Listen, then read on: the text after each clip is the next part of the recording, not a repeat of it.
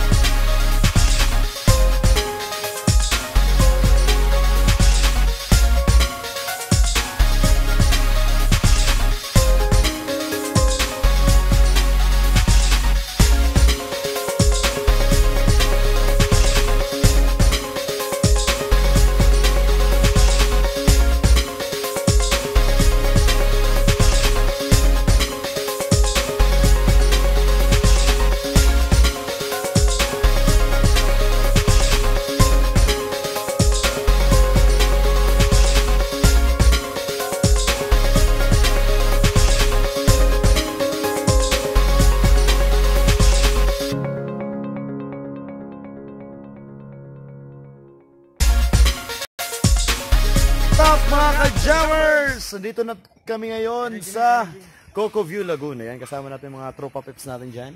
Isa ng mga tagumpay na paglalakbay at kami nandito para manloko ng mga tao pagkat ganun kami. Man.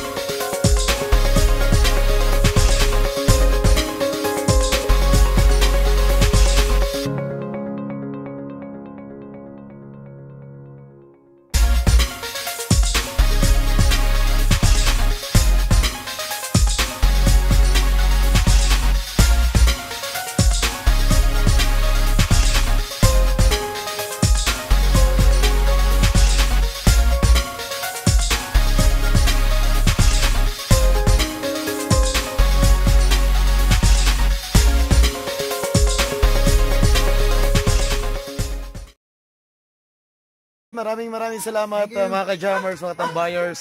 Diyan lang muna ang uh, lakwatsa ni Kuya Pabeboy. Kaya kasama mga tropa pips. Bye-bye.